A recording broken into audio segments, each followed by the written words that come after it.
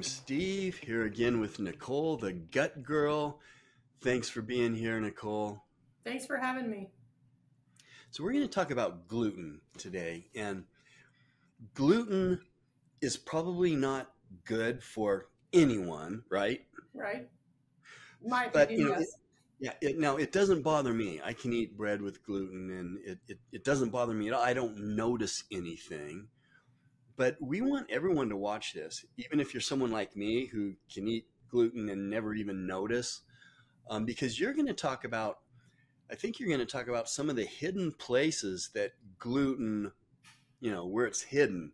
So, um, talk to us. And, and some people are just gluten intolerant and they can't eat it or it really knocks them sideways. Um, but there might be some people out there that are getting these gluten symptoms and they don't know where the gluten's coming from. Is that right? Yeah, absolutely. And gluten is, um, there's a lot of different people who shouldn't have gluten. You know, they, because back in the day, they used to say that only celiac pa- patients, people who had celiac disease, shouldn't have gluten. And that's actually not true. Gluten is a protein molecule that binds um, the breads, the pastas, the, all that kind of stuff together to make that a nice fluffy thing and breads, you know, not so dense and that kind of stuff. But it really, really does trigger GI upset. I the minute I take gluten out of people, they immediately feel relief from inflammation. They're they don't have bloat anymore. Um, they don't have a lot of the acid reflux they're feeling because it is it it fuels bacteria. And it also people who should not have gluten that's not out there being told besides celiac is people who have thyroid issues should not eat gluten. It triggers the thyroid to actually go into a hashimoto's mode where you might not have that. You might just have a hypothyroid but you are having the symptoms of hashimoto's. Type 1 and type 2 diabetics should not eat gluten. Um, if you have any kind of skin issues you guys that's a gluten response nine times out of 10, it's a gluten response. The other thing is, you know, all these hidden glutens, you know, in alcohol, in your beer, in, you won't believe this, and I know you shouldn't be eating this, but they use gluten in art supplies to hold like the paint, the, all that kind of stuff together. Soups. Is that why? Is that why kindergartens like to kindergartners like to eat paste? Exactly. Exactly why. Because it tastes good. um, processed deli meats is a huge one for glutens. And you would not think that because you're thinking breads, pastas, that kind of stuff. Um, I don't know if you heard me, but soups, because they want to make it, um, you know, more creamy. That's gluten. Um, personal personal care products, deodorants, lipsticks, um, all of that kind of stuff has gluten in it. I always, always make sure that I have makeup that has that is gluten free. The the other big one, well, I guess two big ones that we're all doing is our medications. A lot of generic medications have gluten in them. And the other one that's kind of a smoking gun is condiments. We have actually done a, a video on condiments and how bad they are for you, but the lot 99% of condiments out there have gluten in them. Yeah, you know, people who and you know have some questions like, how do you know? I mean, uh, look, like the beer is an obvious one. Yeah. You know, because it has wheat in it. Of course, it's going to have gluten. They're not going to, but you know, I I go to some really nice places that have gluten free pizza and gluten free beer, and it's delicious and it's healthy for me. Just kidding. um, so, um, yeah, just because my body doesn't respond negatively at all to gluten doesn't mean I should be eating it, right? Right, right. Because Just like yeah, just, yeah, just because I like to have a beer once in a while doesn't mean it's good for me. right, and and that goes back to what we've talked about many times. You're clean, what ninety five percent of the time, and you have the occasional beer, you have the occasional bread or pasta. That your body is clean enough to be able to filter that out. The average person who's eating the standard American diet, who's constantly putting gluten in, it is constantly feeding bad bacteria or it's constantly um, getting into the thyroid. That's a whole different you know that's why you can do that is because you are clean on the majority of the time yeah my diet's very strict and i, wanted to uh, i have a question about um, how do you know um, how do you know that gluten is in your makeup or but first i just wanted to say that um, what i do if i know i don't have a cheat day I don't have a cheat week. I have a cheat meal. And what I do that to kind of uh, go with what you're saying is if I know I'm going to have a cheat dinner, I won't eat during the day. I'll have the cheat meal. And let's say I don't usually have pizza and beer together, it's one or the other. But then I won't eat for another, after that meal, I won't eat for another 15 to 20 hours after that meal. So I'm going to go have a cheat meal, but before and after, I'm letting my body just attack the beer or the, pe- the pizza. And seriously, there is uh, a lot of places are making very tasty gluten-free pizza. You can oh, get yeah. gluten-free pizza that's really delicious, and, and now some of it tastes like cardboard, but a lot of it is getting better, and you can't tell the difference. Of some of it.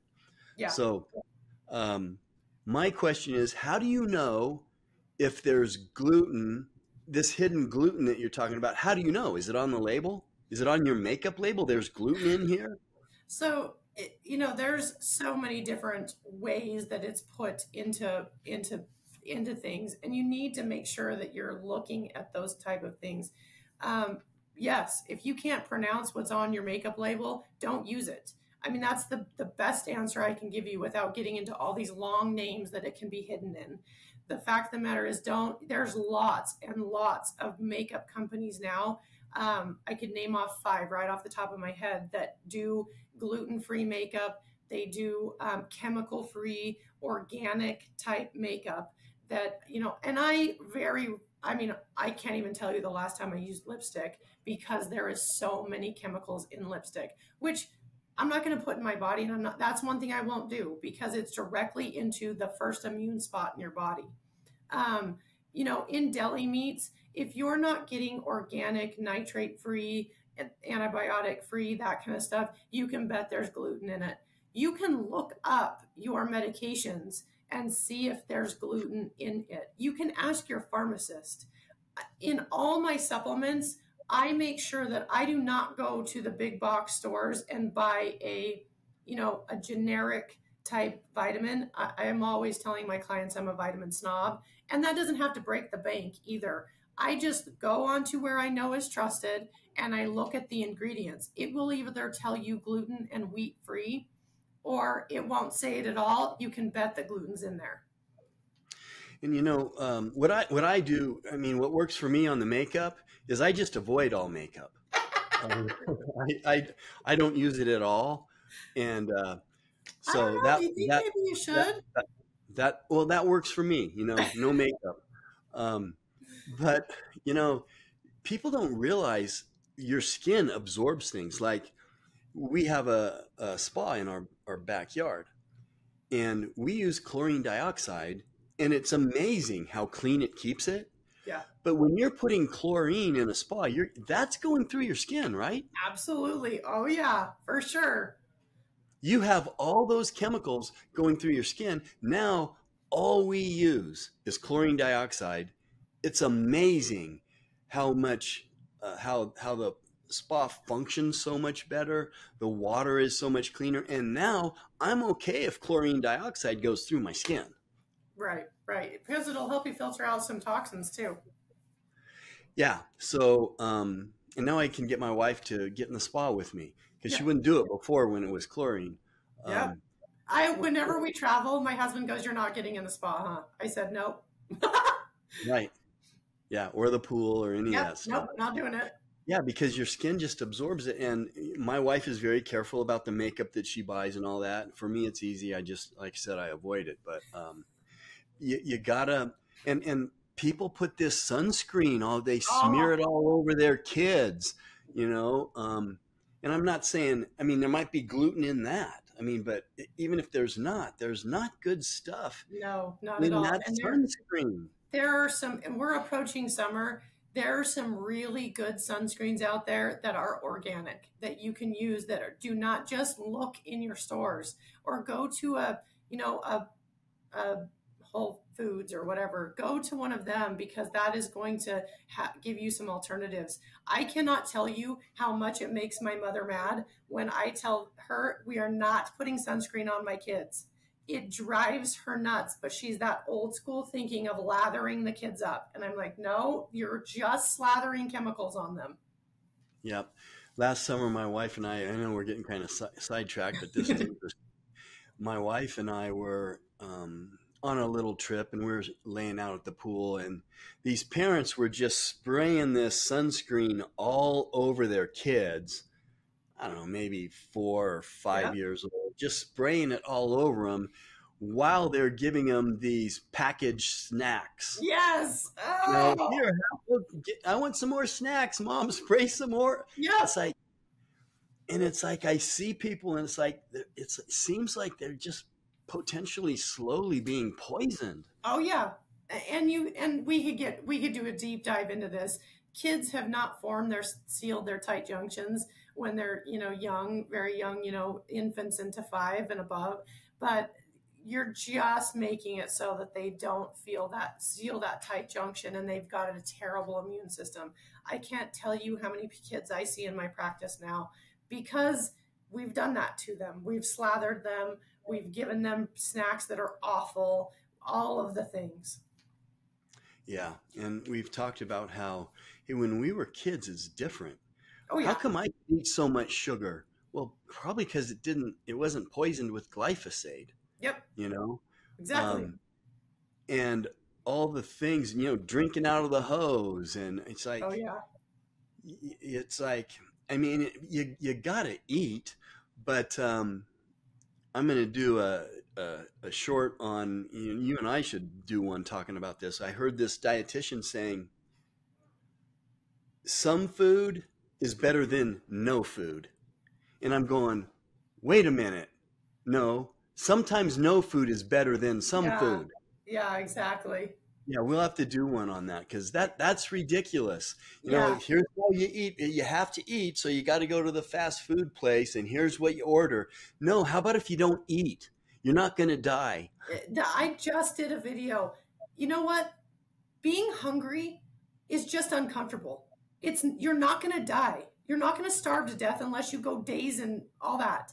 Stop thinking you have to have food at every turn for everything. I have people who come in and they're like, they open their purse and they have snacks upon snacks. Well, I don't want to be hungry.